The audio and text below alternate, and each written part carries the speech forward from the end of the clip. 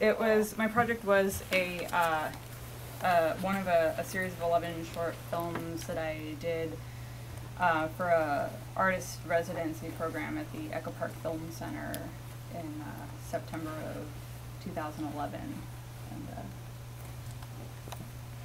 That's where I started too, except a year and a half later. In, but in what way? So then, be, going beyond that is like, how did you each decide to investigate this particular thing at that time? Um, I'm really interested in uh, how humans interact with the non-human environment and uh, landscape, and um, especially how in Los Angeles we we keep nature and people at some safe distance. I feel and and uh, and so I um, I wanted to explore that idea in in different ways. Um, and so in this in this piece, I was interested in how uh, we we select um, ways of organizing space and naming space uh, according to the things that that we've erased from the landscape to make it so that we can build on it and build the things that, that we want to live in, but we want reminders of of these other uh, things. So we can watch them on TV or we can plant them in a thing in our window or we can look at our street signs. And, and now we have uh, nature around us this in, in a, a safe controlled way. Is that really how some of these places got their names? Was like, oh, there was a flower here, so let me just destroy it and then put a street called Uh, Flower I, I don't I don't know that it was that it was uh, right on that place, but uh, but come on, I mean look around Los Angeles, look at our river, look at hilltops that have been taken off to, to build buildings. I mean that it's all around us. Paul? How c- Oh, um, I I live in downtown. I've been there for a little while now, and I don't own a car. I haven't owned a car for a few years now, and uh, in in I feel more connected with my surroundings um, now more than before. And uh, yeah, I just really love these old spectacular cinemas in downtown LA, particularly because the buildings are still there. And then I just kind of wanted to see what they looked like with their neon lights still there. I've been kind of on a weird fascination lately of these sort of hodge. It's I guess it's kind of similar to sort of what you're talking about. A little bit similar to what you're talking about, where there's like, um, but I, I, I think more like the next stage. In a way, you're talking about the initial stage of like, this is um, we're building this here now, and I like to think about it like, this thing was built hundred years ago, and it it was built with this in mind. But then there's this this other building that wanted to be built next to it, and then somebody you know hit something with a tr- you know like their their truck came in and like nicked it on a certain point, and then now our all of our architecture and our buildings and things are a hodgepodge of planning and accident and a lot of different things that and in a way they have this own sort of kind of beauty to it i guess so. Uh, you, raised one moment there, which was like, since you're not in a car, you feel as though you're like closer to the surroundings, and I want to just and each each of you sort of talked about that, the need, like sort of like a distancing. Like, in order for most people to live in Los Angeles, they sort of distance themselves from it in a certain way. I want to see if either of you want to explore that idea further. I do Um, think that oh go ahead. no i was just going to tell a story um, and um, i was uh, i think it was in echo park i rode my bike home to um, the fashion district where I was living for a bit, and uh, on the way back, I smelled fire or I smelled smoke, and then I was and it was kind of foggy. And then I was looking around, and then I started seeing smoke around, and I could kind of tell the difference between the fog and the smoke. So I, you know, called the fire department, and they came on out. And I was realizing later, I was sort of rationalizing it that if I was in a car, I would have just driven by and not even known. So to me, I feel like to me it's like extremely important not only for health reasons and a lot of other reasons to ride a bike, but I just I like this. I like being able to be more connected. It's like I can stop immediately. See, I feel like I see things better. I feel like I'm interacting with things better, um, and that you know being able to call the fire department because there's a real literal problem. You know, I don't know. I think I think there's a lot of importance to that. So. I don't know. I think uh, our uh, our our vehicles, our our built environment, and the the pace that that we live our lives around here are ways that we either accidentally and distance ourselves from that that surround us, surrounds us, or sometimes intentionally.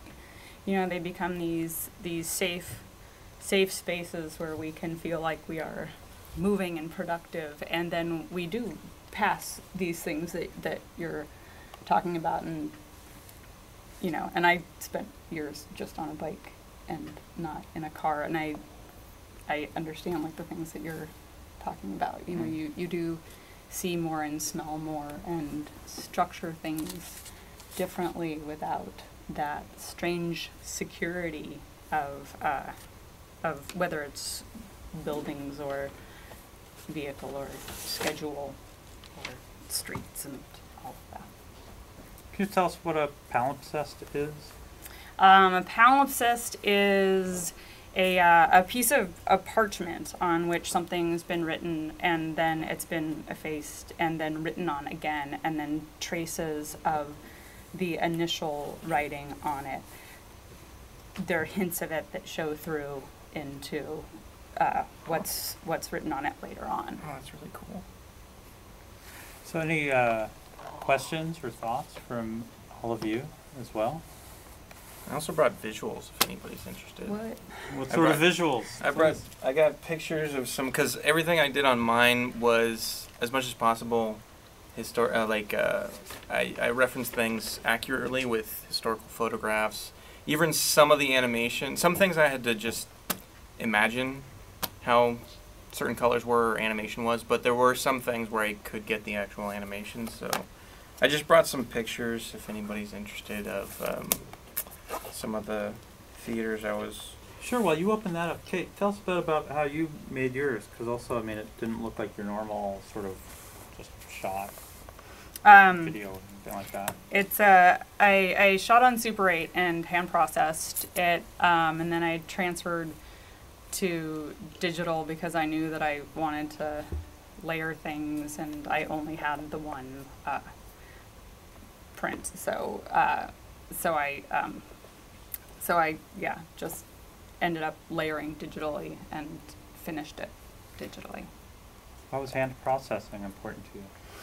Um, hand processing was important to me in this in this project. Um, the project was about processing this idea of nature in Los Angeles, and since I think a lot of how we understand nature here has to do with control, I wanted to shoot on Super 8 and then hand process to turn over a bit of the control to um, chance, to, to play around with stuff in the dark with I had never uh, hand processed before, and I had someone working with me, um, kind of walking me through this as as we were making this thing, and had no idea if anything was gonna gonna turn out, and that was part of this project, relinquishing some of of the control, um, and and so uh, everything ended up ended up showing up and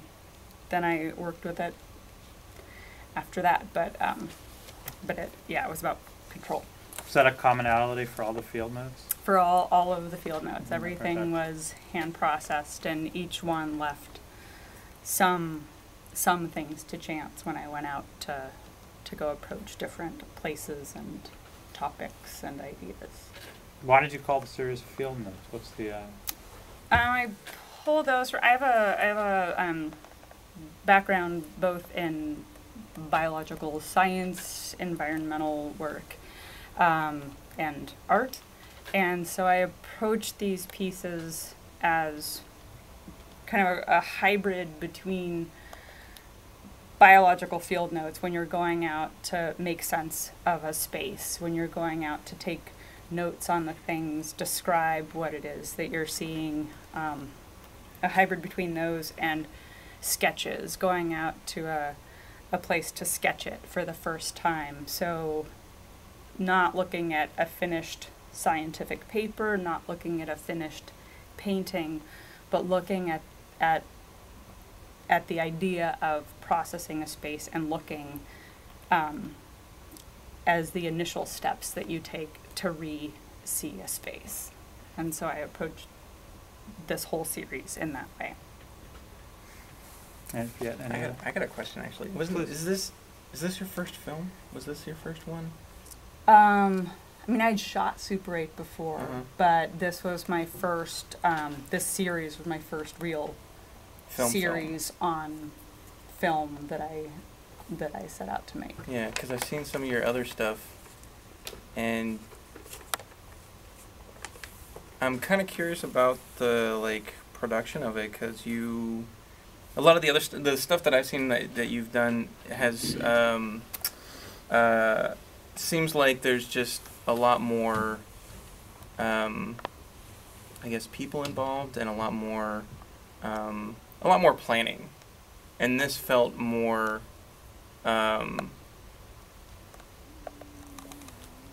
uh, yeah, more like a, um, I don't know how to put it. Um, but it, it, it didn't have as much. Uh, it felt like there weren't there were less people you had to sort of navigate and control. And I'm kind of curious, uh, why was that, or, or like was that because you were working on film, or did, was that not as a part deciding factor of it, or? I th- I think actually, I mean, you're yeah, I, I think you're you're onto something there that I do with a lot of my other projects. Um, they're very very controlled, very scripted, very planned. Mm. And with this, I, I was making a, with this whole series, I was making a conscious effort to, I I had, I had lived away from Los Angeles for, for years and had come back, and this was my one year anniversary of being back, and I did want to, um, I wanted to re understand the space. And so I did set out to learn more from this project than to impose on the project. And I think a lot of my other work is about imposition of, of idea and Mm. story. Not that there isn't some here as well, but um, but it was to to listen more to to the space and to, to process that. So it was a, a conscious effort to really um, yeah, approach it in that way Yeah, instead it of felt more personable. yeah. Like, yeah, like you were doing your like no, like you were saying field notes, like kind of like diary sort of thing. Yeah, it's very cool. So what was involved in your process then? Um, I, I don't know. I spent at least a year, maybe a little bit more, thinking about it and trying to plan how I was going to do it. And then I got this opportunity at the Echo Park Film Center. Anybody, any filmmakers out there? No, one. Okay, well, if anybody decides to become a filmmaker, um, you should look up the Echo Park Film Center's uh, uh, LA Air residency. They accept applications in December, I think it is, something like that. And I got the opportunity to work on that residency, and so um, that kind of gave me that gave me a deadline, and also gave me, you know, a time frame to, to work on things. So I was like, do I want to make this perfectly realistic? Do I want to make it kind of the abstract, more of like what you saw here? And that deadline really made it so I couldn't make it super realistic, which I think is better, anyways. Um, and then so I probably spent about three months planning and researching, and then just maybe a week or less shooting, and then about a month uh, animating, uh, camera tracking the shots, so like matching the moves, so that the animation would be would move with the camera move, which is very technical and slow. Well, I'm curious about the pro, the mix of the three. I mean, we have like three different films and sort of three different ways of investigating history of Los Angeles, or different methods. I mean, this is again like a series of sketches or notes or observations that are then done or treated. I mean, not even extent in in one way. Yours is like an animation. Uh, Fabrice's film has these, you know, historical texts, fictional texts that describe the city. Uh, again, like That's an the amazing Surrealist film. Manifesto as well, but again, like layered over That was a long, locked off shots and tracking shots of the city as it is at that time.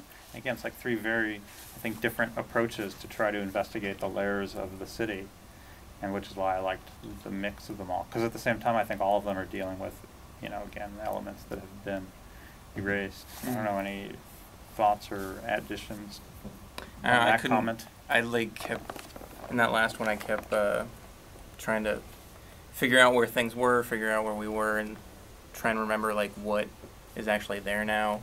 Um, yeah, To me, a lot of it seemed like, oddly enough, like it hadn't changed. I mean, downtown. there's so much. I know. There's so like, there was actually one there was one theater that I wanted to include in my piece, the uh, Temple Auditorium Theater. That's just an empty parking lot now. Yeah, actually, I got a picture of it, and they show it in this as they're going down Fifth Street. Uh, but you literally only see like the front doors of the building. So I was sitting there going, "Oh my God, here it comes! Here it comes!" Oh, you can't even see anything. Uh, let's see. I got a. Cool I, I, me- I remember still seeing that first shot. I was like seeing everything. It's like, geez, Dodger Stadium's big. um, any other what? Any thoughts or observations from any of you, please? Yes. If they all, because of the lack of color so much in them too, I think they all sort of do look like they're from the fifties almost. Even though they're contemporary, it, the feeling is very older. Um, but also the use of sound, I think, in it, that Kate chose not to use sound, but I think music seems important to her work too, and that, um, I think Paul was, worked with another, with a musician or something with your work, yeah. I'd like to hear more about how you chose to work with him and, Um, Ali, who did the music, um, actually, he did the entire soundtrack. I didn't. There's even uh, sound effects in there. I had nothing to do with any of that.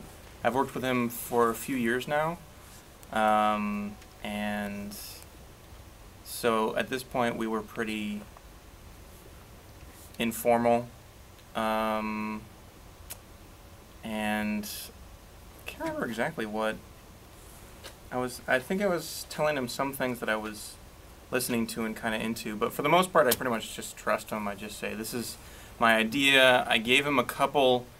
Oh no, that's right. He, I, I'd been toying around with another project that I'm working on, and I used some of his music that he just that from from previous stuff that he'd been doing, and I just put them together as like a sort of test. Like, what do you think about this?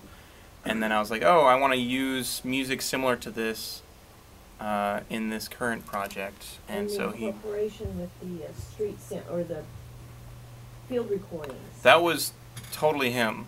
I didn't even ask him to do that.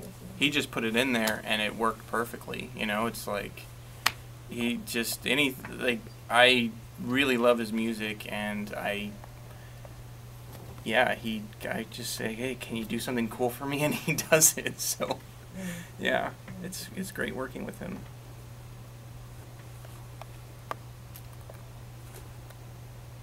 Why did you choose to combine like restored theaters with ideas of restored theaters or of past theaters? Like the Orpheum, for example, and Broadway Bar, which are like current neons. Um, well, most of them had. I mean, I, I had a kind of a bigger list when I started, and I was slowly like working them down. I the thing for me was I wanted to show theaters as they were in as many different decades as I could. I didn't want to overlap any decade. Um, and I chose the Orpheum specifically because uh, of the top of the theater sign. Um, that actually used to have, oh, that used to say vaudeville underneath. And I was like, oh, whoa, I, really want to see what that looks like. So I, and actually here it is. This was the reference photograph that I used. And it's like a completely, totally obscure image. I think it was from the USC um, archive library, uh, photograph library, whatever they have. Um, and yeah, so I kind of I kind of just wanted to see the vaudeville part underneath, really. And then I was like, well, I might as well kind of do the rest of the theater because it's spectacular, and it's really well restored, and in a way, you know, I hope that all these theaters, I guess, kind of get to that same point, sort of. Even though I know there's no way the Mason can ever come back, but um, yeah, I guess it's just this longing, Is it a nostalgia or a Nostalgia. line? please something. I don't know. I just, wa- I, I thought it was really interesting that, uh, the theaters that, some of the theaters you, you chose to portray also showed up in the, the LAX film, I was wondering how you felt about seeing them That was awesome. Although there was no, there was that one shot where it's the, what is it, the Roxie in the arcade, and I'm just like, oh, just move like two inches over, because then you'd be able to see the tower, which is in my film it's the newsreel. So, but of course it didn't move, so I was like, Yeah, I'd seen Fabrice's film before, but I hadn't seen it with yours, and so I never realized just how many theaters showed up in his film, like seeing yours before. It really like, I I watched it in a very different way tonight. yeah, it's my first time seeing it. Yeah. Yeah, it's awesome. I still love that old painted wall for the newsreel theater and Fabrice's film, just sitting there across the parking lot, you know, after theater's gone. But There's there's these linkages of these signs, that, of course, it, I mean, Thom Andersen's film, Get Out of the Car, links in in the same Mhm. way. Just signage will live long past the building well, there's still one for the uh, the palace. represents. Yeah, it says, and actually, for a while I thought it was a newsreel. Uh, because it says Palace Newsreel Theater, and the Palace part is almost completely worn away. It's in downtown, like, right off of Spring. So I was like, oh, hey, it's the sign for the newsreel. And I almost shot it for this piece, and then I was like, oh, wait a second, no, that's the Palace. Because it, it said, it gave the address, and I'm like, that's not the right address. I'm like, oh, oh, it's a different theater. I mean, this is a, a, a linkage as well, of course, to film as well, but just how the signs for things, I mean, literally, of course, last longer than the things themselves. From the street signs, from the neon signs up tops of buildings for businesses, which are long gone, and so forth. Of Thoughts on that? Please. Uh, you have the CRA to thank for being able to do, do this at all. Some time ago, they decided to bring back Broadway, and they recognized that motion picture theaters were the most uh, glorified illumination downtown. So they first financed putting a uh, relighting and restructuring a neon sign on the top of a hotel.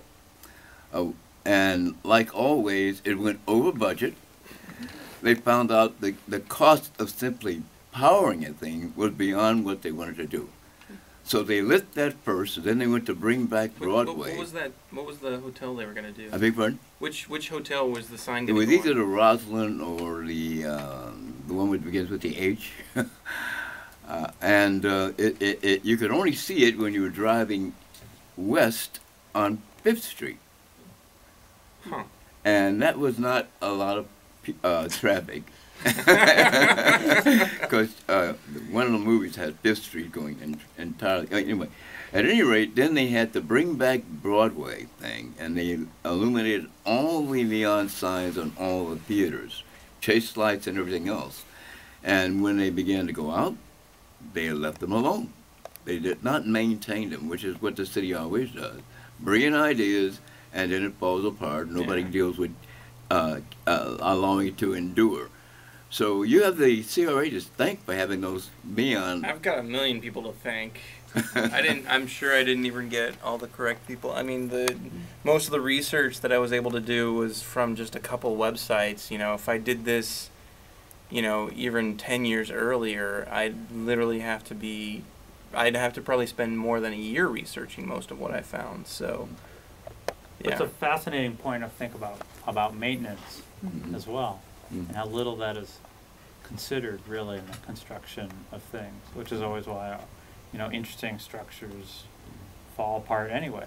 Magnificent things that have been built in LA and then just thirty years later are empty or whatnot, because maintenance is always a large uh, cost that nobody ever figures in. And now the CRA is, uh, what, funded? That's Right. right. And it, it was such a, a, a huge project that there was a um, next to the Fashion Design Center, there was a neon something, it's called neon whatever. But they located down there because they thought Museum neon Neon was Art? good. Huh? The Museum of Neon Art. Yeah. Yeah. And they located down because that neon was coming back. and they relocated. I don't know where they went to, They went but to they left that uh, site down Isn't it there. in Glendale now? It was on Fourth Street for a bit, and I don't. Yeah, maybe it's in Glendale I think they Glendale moved now. to Glendale. Hmm. They'd been planning that move for like two years. They, they were yeah. outgrowing spaces because people kept giving them neon signs Mm. because they couldn't, one didn't want them on their buildings anymore. But people sort of came to understand the value of neon, and they shouldn't just trash the signs somehow. Mhm. But everybody would just hand them over to the museum, and of course the museum couldn't really, can't really just. It's a big warehouse to store them all in. Um, any other questions, or shall we all go uh, get a drink? Any other observations on Los Angeles? get drunk. Yeah. So, I don't know if either of you have any other final thoughts. All right. Well, I got images if anybody's curious. yeah. So we have. Uh, I got some images, proper minutes. images of like the newsreel. oh, show us one, and then we'll wrap it up on that. Mhm. Don't you think it's kind of remarkable to come here to look at the big screen and he's gonna show you postcards from I know. twenty feet away? We should have tapped them into the as a slideshow before the screening. Sorry, I didn't know. Next time we'll do that. Maybe for the before Friday's show, Oh. LACMA. Here's a cool one. This is the sta- This is the one that's like a whole building. This is literally. I mean, it was you. If you go to uh, what street corner is this? The Sixth and Broadway, I think it is. Is it eighth? No, it's not eighth. The tower's at eighth. The Oh, Loew's. State Theater's at sixth, I think. I think right. Seven. Seventh. Anyways, you can still see the little uh, Yeah. the things that hold up this sign going all the way up the building. And you know, if you can't see it now, I can show you later. But they're all still there. Um, All right. Well, please come Here's Friday to another LACMA or check out Paul's Awesome. pictures with him or Huckleberry's pictures with him up front. And uh, thank you all for coming, and we'll see you all again soon.